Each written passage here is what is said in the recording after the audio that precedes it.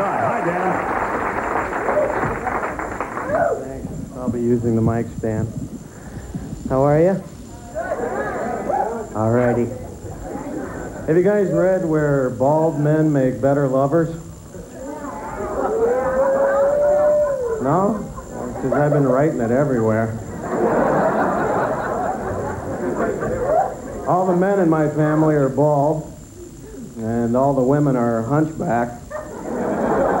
And they don't know we're bald. I don't mind not having hair. A lot of guys do. A lot of guys freak out, start stapling stuff to their heads. I hate these guys that go out and get these really crappy looking toupees.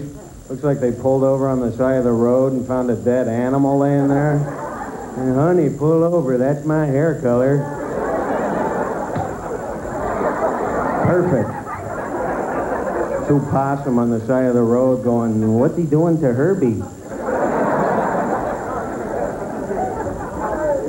My dad just got a toupee.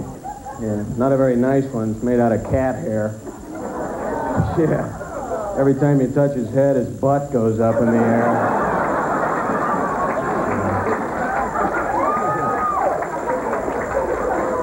Yeah, real easy to clean, though. He just takes it off and licks it for a little while.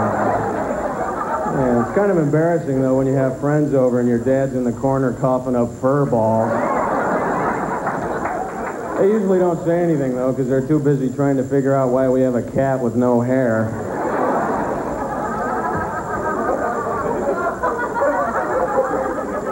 Those are jokes. I would like to say those are jokes. I am a strong supporter of animal rights. In fact, I hope that somewhere there's a bunch of animals wearing the pelts of fat, rich women.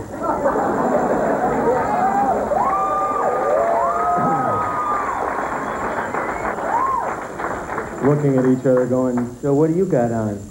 Uh, it's a Caucasian housewife from Detroit. That goes very well with your tail.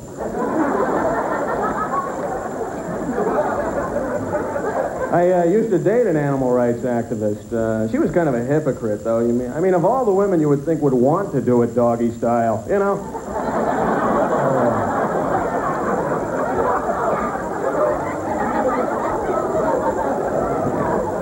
I dated a lot of weird women when I was single. I remember one woman, I, I pick her up, first date, dinner and a movie. First thing out of her mouth, she says, well, we can sleep together, but we can't have sex. Okay. I said, all right, when we get to the restaurant, you can order dinner, but you can't eat it.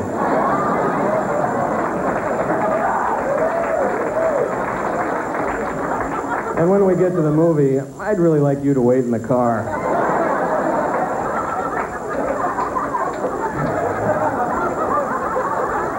So I didn't date a lot. I'm married now, though. I, uh, I like being married. I do. Oh, not that the single scene wasn't kind to moi. Yeah, when I got married, I disappointed a lot of women. Now I can pretty much concentrate on disappointing just the one. Uh, it's not easy when you have the sexual appetites of Casanova, but you're trapped in the body of Fred Mertz.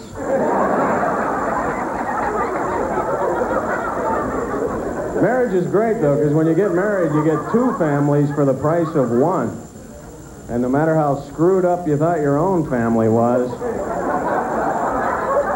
doesn't quite compare to the prizes she has in her clan.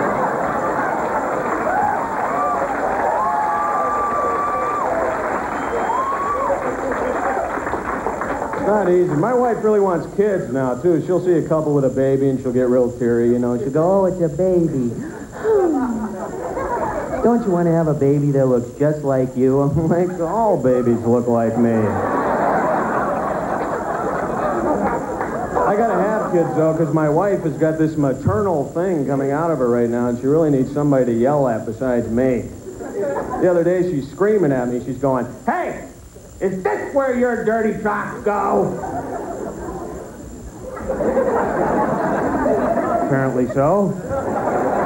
Like, close that refrigerator door. Get out of there. We just ate. Close that refrigerator door. We're at the grocery store. She's like, put that back. Put that back. You don't need that. Put that back. I'm like, hey, I'm an adult. I jumped out of that cart and I said, look, you